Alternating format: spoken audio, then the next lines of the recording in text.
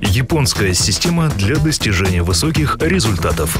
Она помогает предприятиям модернизировать производственный процесс по мировым стандартам, а это залог выпуска качественной продукции. Что такое 20 ключей Ивао Кабаяси? Какие двери они отпирают? И как эта программа приживается в Чувашии? Произошло значительное снижение незавершенного производства.